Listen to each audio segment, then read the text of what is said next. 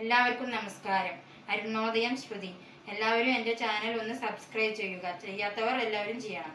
അതിൽ bell button അമർത്തിയാൽ അതിൽ ആൾ എന്നുള്ള ഓപ്ഷൻ കാണാം. അതിൽ ക്ലിക്ക് ചെയ്താൽ എല്ലാ എന്റെ എല്ലാ വീഡിയോസും നിങ്ങൾക്ക് കിട്ടുന്നതാണ്. ഇന്ന് ഞാൻ ഉണ്ടാക്കാൻ പോണ സ്പെഷ്യൽ എന്ന് പറഞ്ഞാൽ ക്യാരറ്റ് കൊണ്ട് ഒരു അലുവയാണ്. അതിനായിട്ട് ഞാൻ നാല് ക്യാരറ്റ് ഗ്രേറ്റ് ചെയ്ത് വെച്ചിട്ടുണ്ട്.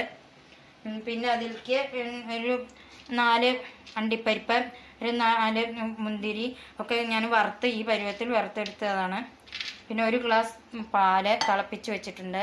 അതിലേക്ക് കുറച്ച് നെയ്യ് പിന്നെ കുറച്ച് പഞ്ചസാരയാണ് ആവശ്യമുള്ള സാധനങ്ങൾ ഇനി നമുക്ക് നെയ്യിൽ കുറഞ്ഞൊന്ന് ക്യാരറ്റ് ഒന്ന് വഴറ്റിയെടുക്കാം. അപ്പോൾ നെയ്യിലൊന്ന് ഇത് നല്ലൊന്ന് വഴറ്റി വന്നിട്ടുണ്ട്. ഇനി നമുക്കിതിലേക്ക് തിളപ്പിച്ച് വെച്ചിരിക്കണ പാൽ കൊടുത്തിട്ട് വേവിച്ചെടുക്കാം. അപ്പോൾ നമ്മൾ പാൽ ഒഴിച്ചു കൊടുക്കുകയാണ് തിളപ്പിച്ച് വെച്ച മുഴുക്ക മുഴുക്ക പാലൊന്നും ആവശ്യം ഉണ്ടാവില്ല. അത് നോക്കിയിട്ട് മതി. വേണമെന്നുണ്ടെങ്കിൽ പിന്നീട് ചേർത്ത് കൊടുക്കാം പാൽ. ഒന്ന് നമ്മളിതൊന്ന് പാലിലൊന്ന് ഇളക്കി കൊടുത്തിട്ട് നമുക്കൊന്നത് അടച്ചു വെക്കാം.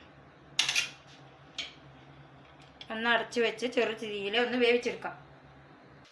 അപ്പോൾ അത് ഒന്ന് ഇളക്കി കൊടുത്തിട്ടുണ്ട്. നമ്മൾ അപ്പോൾ അത് വെന്തിട്ടില്ല. അപ്പോൾ ഒന്നുകൂടി വേവാൻ വേണ്ടിയിട്ട് നമ്മൾ ബാക്കിയുള്ള പാലും കൂടി ചേർത്ത് കൊടുക്കാം.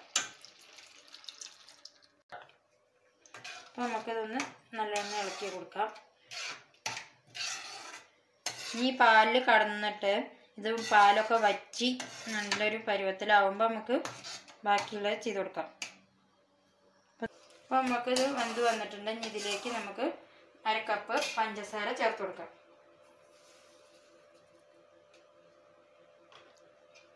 ഇത് നല്ല ഒന്ന് ഇളക്കി കൊടുക്കാം.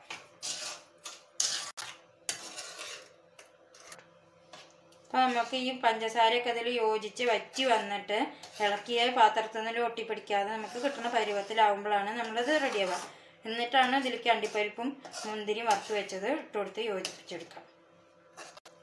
അപ്പം അങ്ങനെ നമ്മുടെ ക്യാരറ്റ് അലുവ റെഡി ആയിട്ടുണ്ട്. അത് പാത്രത്തിൽ നിന്ന് വിട്ട് ഒട്ടിപ്പിടിക്കാതെ നമുക്ക് പരുവത്തിൽ കിട്ടുന്നുണ്ട്. ഇതിലേക്ക് നമുക്ക് അണ്ടിപ്പരിപ്പും മുന്തിരിയും വറുത്ത് വെച്ചത് ഇട്ട് കൊടുത്തിട്ട് ഇളക്കാം.